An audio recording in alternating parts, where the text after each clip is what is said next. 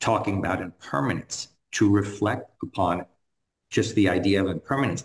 The good feelings are not going to stay. This too shall pass is, is actually for everything. We just like to wield that when it's a horrible thing, right? But it's all passing.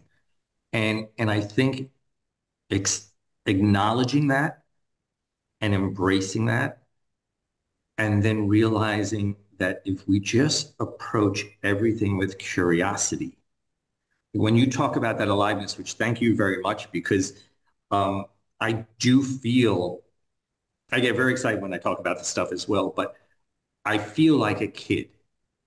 You know, I'm getting up there in, in age, but I, I, I definitely, I feel like a kid. And that is because I just, I know this is all going to end. And I know I had no control over that. I, I, I live that with Desiree to the point where I don't know how many times, because they had given us a three-year life expectancy and she lived 11, how many times she would rally after being in the hospital that it just, when the moment came, it seemed like it was a second from the diagnosis to the death. Those 11 years went like that. And so when I look at all this and I say, well, this is all going to end.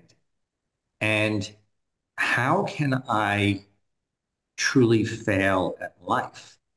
For me, I feel I can only quote fail, and I don't believe there is failure. Let's say just, I just want to make sure that's clear. But for me, if I don't go out there and try, if I don't go out there and test my limits, if I don't try to create something new, that to me is a waste of this experience that someone handed to me and someone will take away in terms of there's no control over that. I didn't choose, well, people say we choose to be born and all that other stuff. But regardless of the case, you know, I don't remember that conscious decision.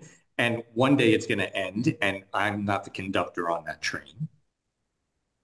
But I can get on and off and experience the places along the way and play and get my hands all dirty and say, well, I lived life to the utmost.